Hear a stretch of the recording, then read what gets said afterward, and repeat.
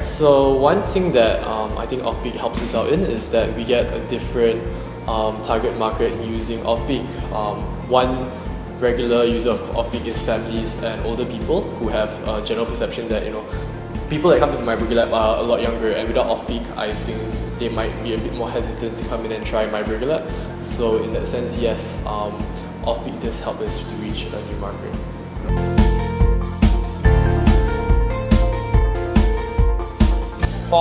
October campaign, the Make It Rain campaign, uh, we actually have it like 50% off for the one whole week, regardless of the timing. And that month, we actually see a revenue record break and our profit also break record. You won't be able to see the immediate impact, but you look at monthly profit comparing each month and comparing last year, it's definitely like 100% growth.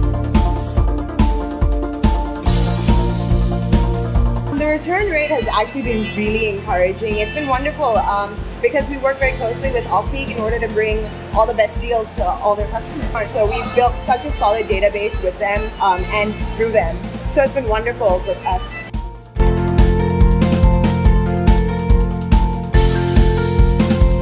My personal experience as a cafe owner, uh, I think it's been quite brilliant in the sense that uh, the service has been always top notch with the team.